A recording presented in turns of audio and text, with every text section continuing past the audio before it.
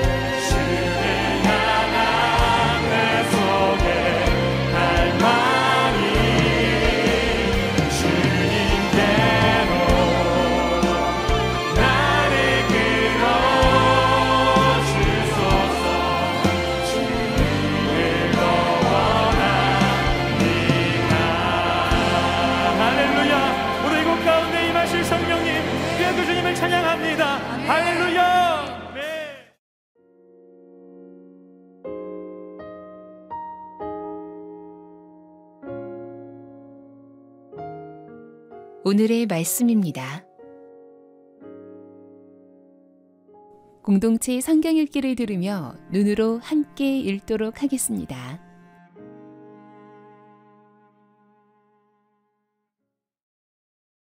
제 13장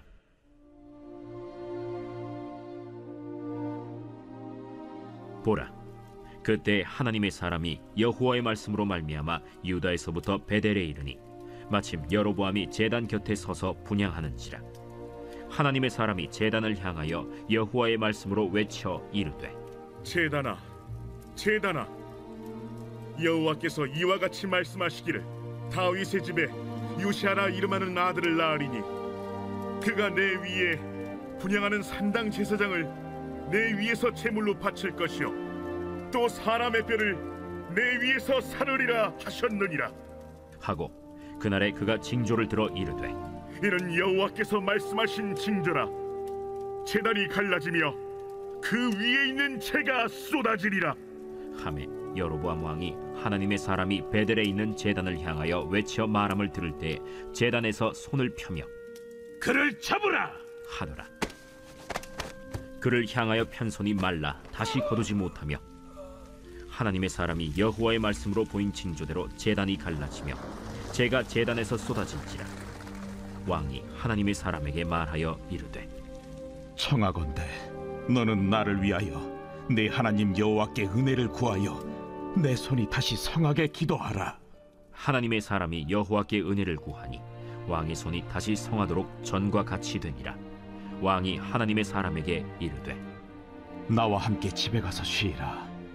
내가 네게 예물을 주리라. 왕께서 왕이 집 절반을 내게 준다 할지라도 나는 왕과 함께 들어가지도 아니하고 이곳에서는 떡도 먹지 아니하고 물도 마시지 아니하리니 이는 곧 여호와의 말씀이 내게 명령하여 이르시기를 떡도 먹지 말며 물도 마시지 말고 왔던 길로 되돌아가지 말라 하셨음이니이다. 이에 다른 길로 가고 자기가 베델에 오던 길로 되돌아가지도 아니하니라. 베델에 한 늙은 선지자가 살더니 그의 아들들이 와서 이날에 하나님의 사람이 베델에서 행한 모든 일을 그에게 말하고 또 그가 왕에게 드린 말씀도 그들이 그들의 아버지에게 말한지라 그들의 아버지가 그들에게 이르되 그가 어느 길로 갔더냐?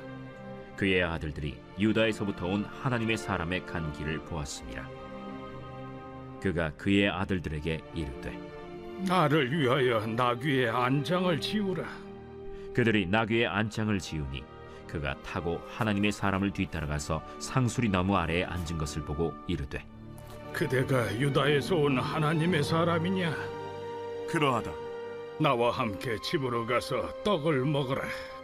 나는 그대와 함께 돌아가지도 못하겠고 그대와 함께 들어가지도 못하겠으며 내가 이곳에서 그대와 함께 떡도 먹지 아니하고 물도 마시지 아니하리니 이는 여호와의 말씀이 내게 이르시기를 내가 거기서 떡도 먹지 말고 물도 마시지 말며 또 내가 오던 길로 되돌아가지도 말라 하셨음이로다 나도 그대와 같은 선지자라. 천사가 여호와의 말씀으로 내게 이르기를 그를 네 집으로 데리고 돌아가서 그에게 떡을 먹이고 물을 마시게 하라 하였느니라. 이는 그 사람을 속임이라 이에 그 사람이 그와 함께 돌아가서 그의 집에서 떡을 먹으며 물을 마시니라 그들이 상 앞에 앉아 있을 때 여호와의 말씀이 그 사람을 데려온 선지자에게 임하니 그가 유다에서부터 온 하나님의 사람을 향하여 외쳐 이르되 여호와의 말씀에 내가 여호와의 말씀을 어기며 내 하나님 여호와께서 내게 내리신 명령을 지키지 아니하고 돌아와서 여호와가 너더러 떡도 먹지 말고 물도 마시지 말라 하신 곳에서 떡을 먹고 물을 마셨으니 내 시체가 내 조상들의 묘실에 들어가지 못하리라 하셨느니라. 그리고 자기가 데리고 온 선지자가 떡을 먹고 물을 마신 후에 그를 위하여 나귀의 안장을 지으니라. 이에 그 사람이 가더니 사자가 길에서 그를 만나 물어 죽이매 그의 시체가 길에 버림받으니 나귀는 그 곁에 서 있고 사자도 그 시체 곁에 서 있더라 지나가는 사람들이 길에 버린 시체와 그 시체 곁에 선 사자를 보고 그 늙은 선지자가 사는 성읍에 가서 말한지라 그 사람을 길에서 데리고 돌아간 선지자가 듣고 말하되 이는 여호와의 말씀을 어긴 하나님의 사람이로다. 여호와께서 그에게 하신 말씀과 같이 여호와께서 그를 사자에게 넘기심에 사자가 그를 찢어 죽였도다. 이에 그의 아들들에게 말하여 이르되 나를 위하여 나귀의 안장을 지우라. 그들이 안장을 지우매 그가 가서 본즉 그의 시체가 길에 버린 바 되었고 나귀와 사자는 그 시체 곁에 서 있는데 사자가 시체를 먹지도 아니하였고 나귀를 찢지도 아니하였더라 늙은 선지자가 하나님의 사람의 시체를 들어 나귀에 실어 가지고 돌아와 자기 성읍으로 들어가서 슬피 울며 장사하되 곧 그의 시체를 자기의 묘실에 두고 오라, 내 형제여.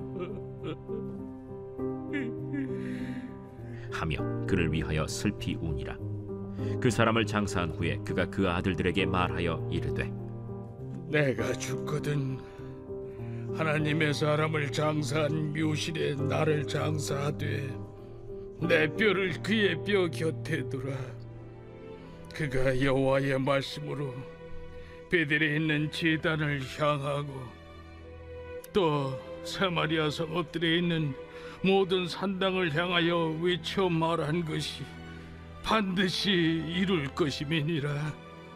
여로보암이 이 일 후에도 그의 악한 길에서 떠나 돌이키지 아니하고 다시 일반 백성을 산당의 제사장으로 삼되 누구든지 자원하면 그 사람을 산당의 제사장으로 삼았으므로 이 일이 여로보암 집의 죄가 되어 그 집이 땅 위에서 끊어져 멸망하게 되니라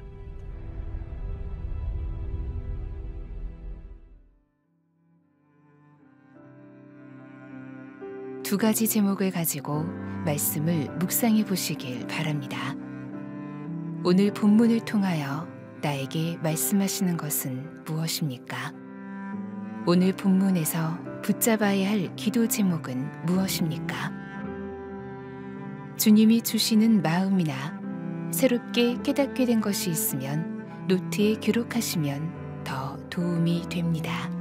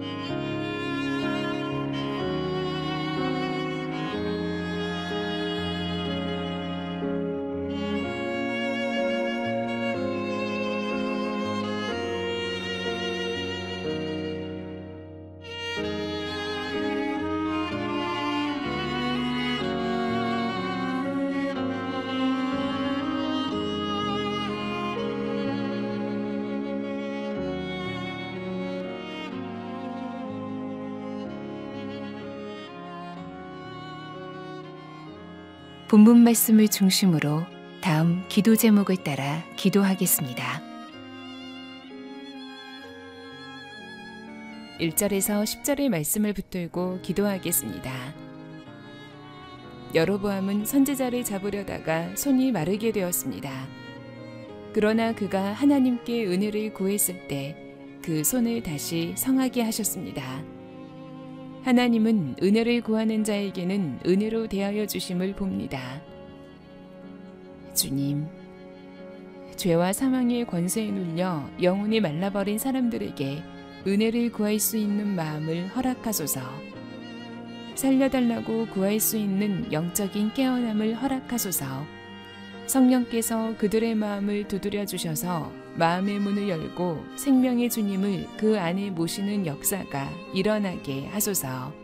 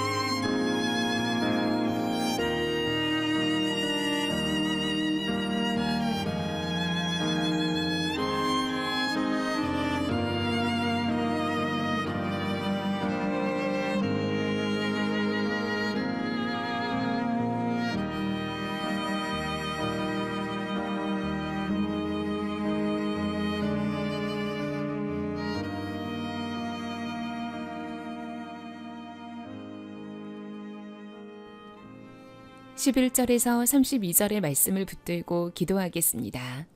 여로보암의 죄를 규탄하고 돌아가던 하나님의 사람은 늙은 선지자에게 속아서 그를 따라가 먹고 마십니다. 이단도 사이비도 마귀도 하나님의 말씀이라며 우리를 속입니다. 속지 않을 수 있는 길은 하나님의 말씀을 제대로 알고 붙잡아 그 말씀에서 벗어나지 않는 것뿐임을 기억해야 하겠습니다. 주님, 속이는 자들로부터 주의 백성들을 지키소서. 성도들이 말씀을 바로 알게 하시고 진리의 말씀에서 벗어나지 않게 하소서. 교회마다 말씀의 부흥이 일어나 성도들이 진리의 말씀 위에 굳게 서게 하시고 유혹과 속임수로부터 자신을 지킬 수 있는 분별력을 갖추게 하소서.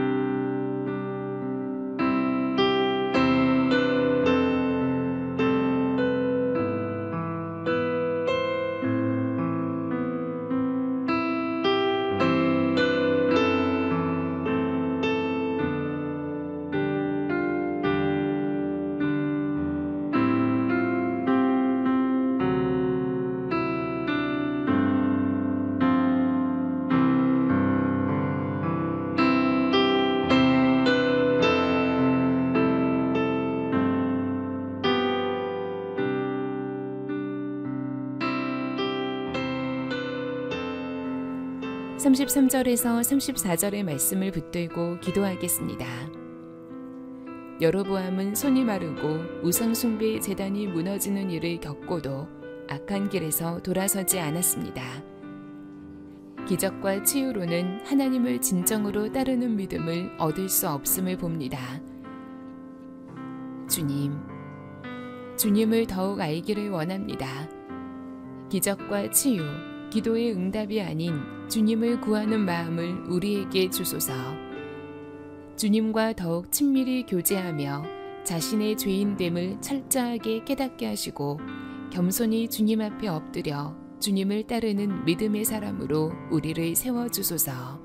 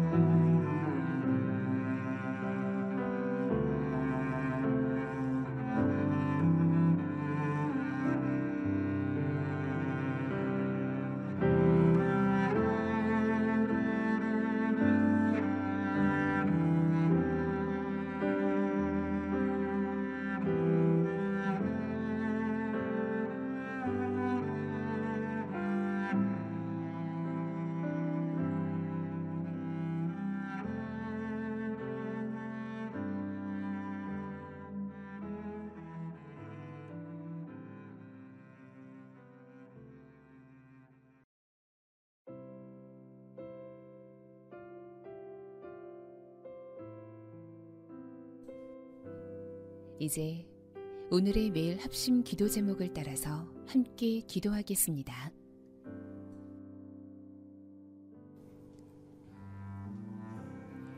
하나님의 나라가 속히 이 땅에 임하게 하소서. 캐나다 산불로 고통받고 있는 원주민과 주민들을 위로하여 주시고 산불이 진화되도록 비를 속히 내려주소서. 러시아와 우크라이나 전쟁을 멈추게 하시고 카우카댐 붕괴로 어려움을 겪는 이들을 돕는 손길이 일어나게 하소서.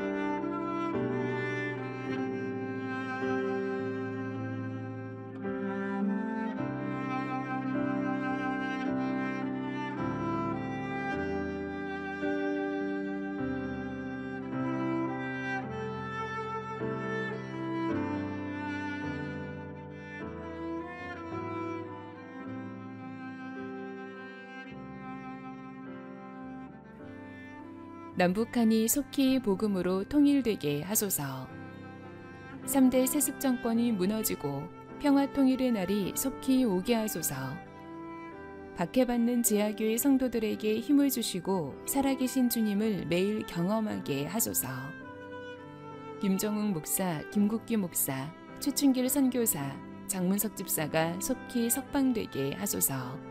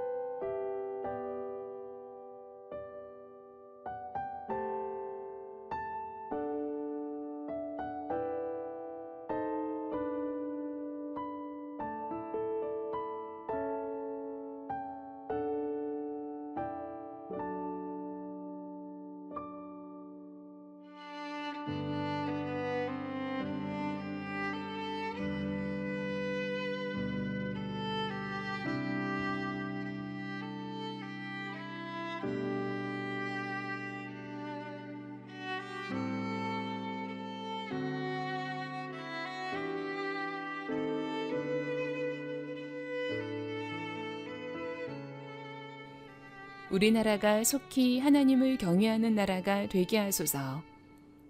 하나님을 경외하는 지도자들이 곳곳에 세워져서 정의가 실현되게 하소서.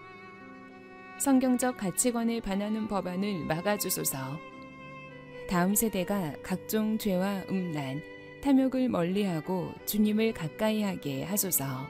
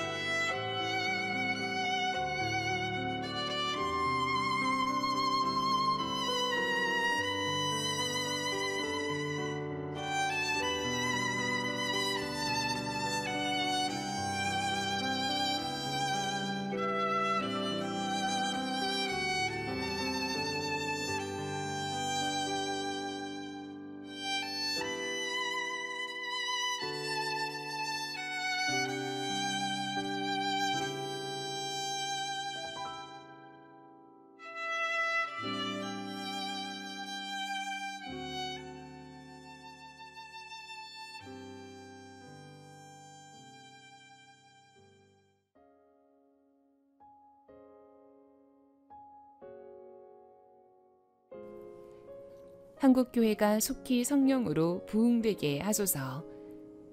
한국교회 목회자들이 성령으로 충만하게 하소서.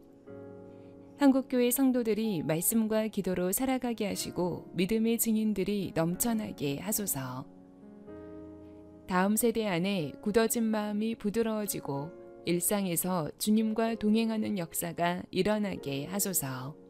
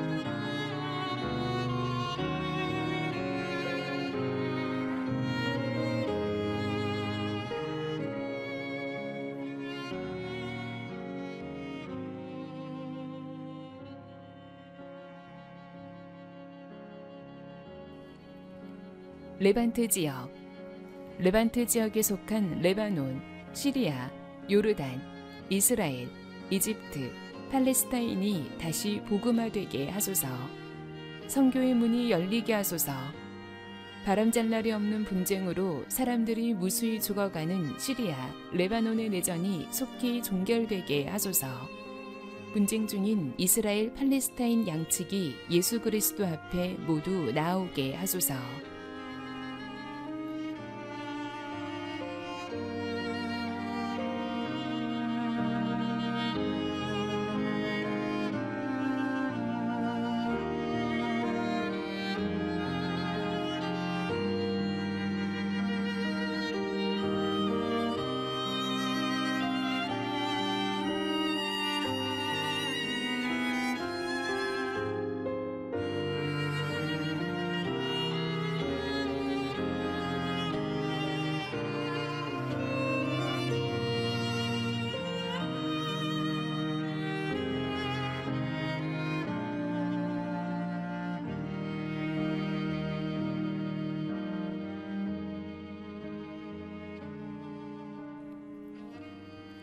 국회에서 발의된 동성혼 법제화를 막는 기도.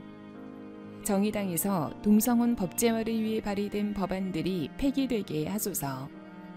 입법 예고 중인 가족 구성권 3법인 혼인평등법, 생활동반자법, 비혼 출산 지원법에 대한 국민의 반대 의견이 정확히 전달되게 하소서.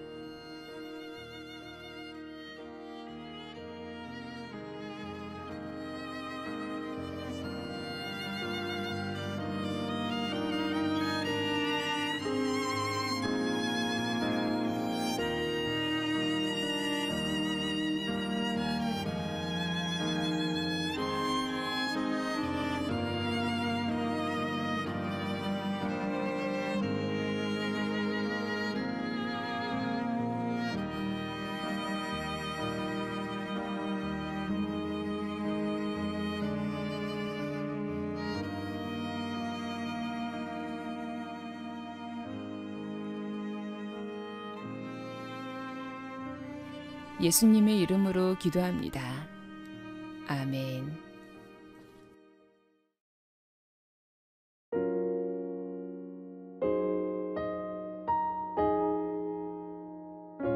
개 교회와 개인의 기도 제목으로 기도하겠습니다.